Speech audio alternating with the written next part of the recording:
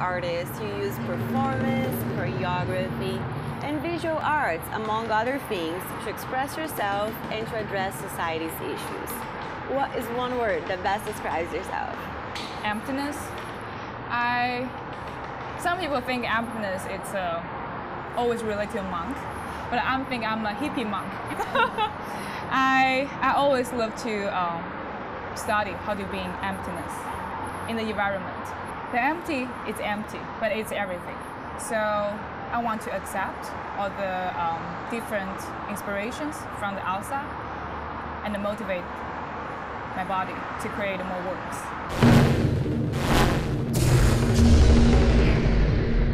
A restricted body language is the central element of Qinmin Liu's art. After 17 years of dance training and performing, she expresses her creativity naturally through improvised, straightforward movements done in non traditional theatrical spaces. Qinmin moved out of China in 2009 to address, on a global level, yet another vital point of what she does social responsibility. Artistically, she feels responsible to address people's social concerns, to question those issues, and to provide answers. You have been training for a long time and about 17 years Yeah. of, you know, dance training and uh, performance. How has that changed over the years?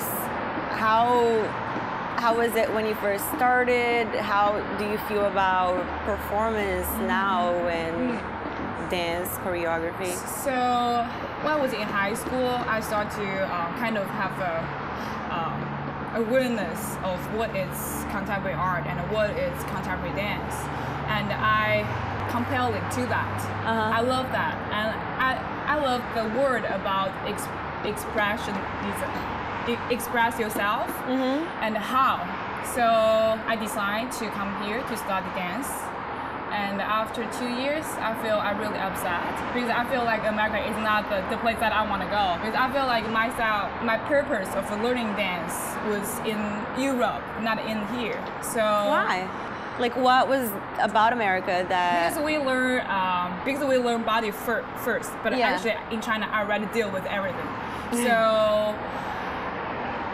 So I was uh, learning like um, Gordon, Martha Graham, like all the uh, modern dance, but it's not what I call it's uh, contemporary dance. It's different, but it's related, but uh, it's not what I want. So I start to um, just learning by myself. I I watch some videos from the internet or whatever, and then I really um, study why I don't like it and uh, why I like this, not the this. So I trying to analyze um, the language under my skin. So I start to choreograph because I always feel like it's um, I want I just want to create and uh, want to contribute to the idea yeah.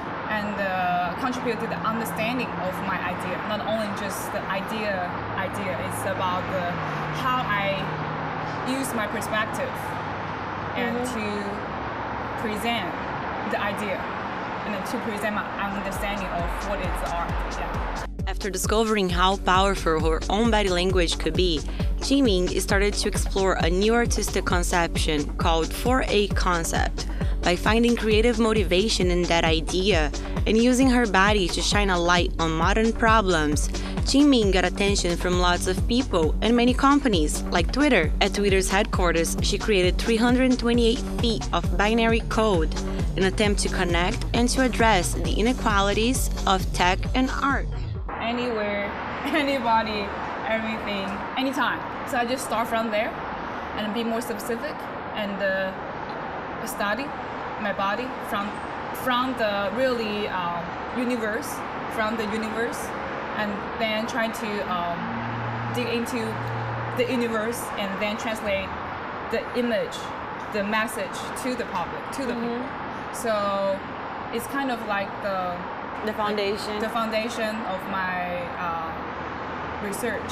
uh-huh. And nowadays, I I'm, I'm still thinking about why I'm here, why how I can um, do something else, Yeah. and help people to understand the performance, or um, the contemporary dance or the somewhere between the contemporary dance and the performance art. You just did um, a performance which I feel like it relates to the 4A concept because it was improvised mm-hmm. to address the California drought mm-hmm. problem. And you basically, I mean, you talked about water, you mm-hmm. danced about water almost. What was, how did that come to mind? What was behind that? From the dance training, we always want to move like water. Uh-huh.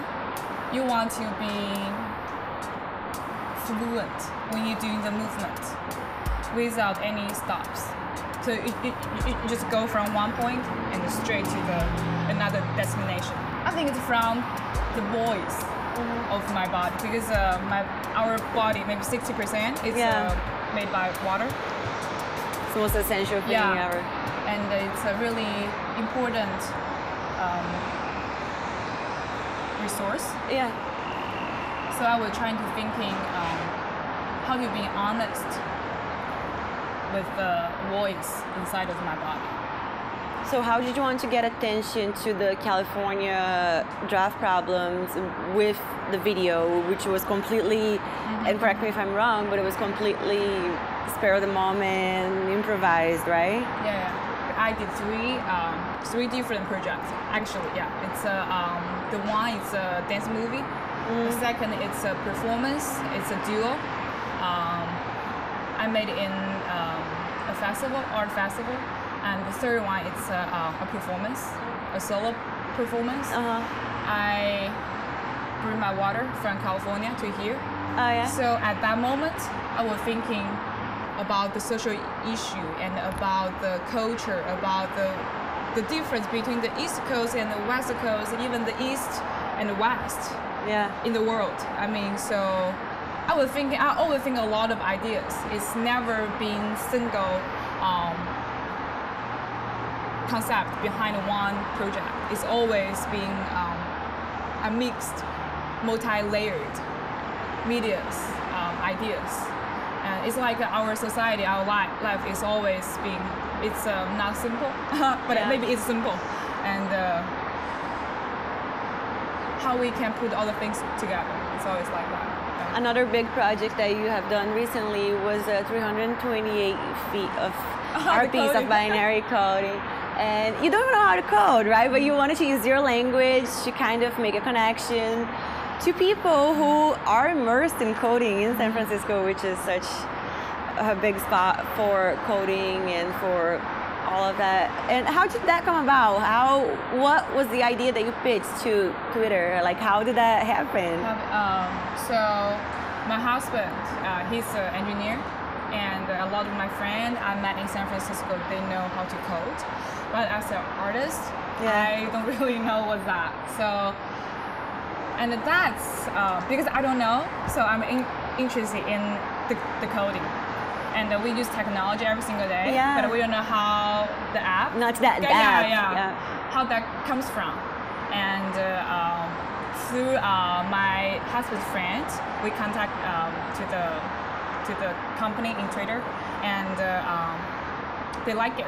So I was like, yeah, I, I will be there and um, they offered me a desk, offered me 10 days residency, kind of just being there and uh, I coding with the tech people and in the space and have a conversation with the people because they're really curious about like, oh, why are you here?